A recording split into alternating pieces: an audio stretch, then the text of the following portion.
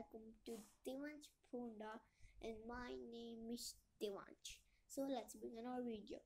So today's our topic is uh, uh, never think that you are always right.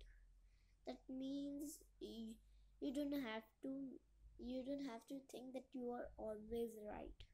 Sometimes uh, you did a wrong thing and you thinking that this, I did that this is right. And but that is wrong. And you think this is right that's why i did it. That's wrong.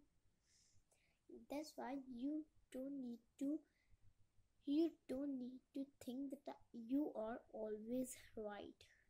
Because sometimes that you are thinking that i am right so i can do this.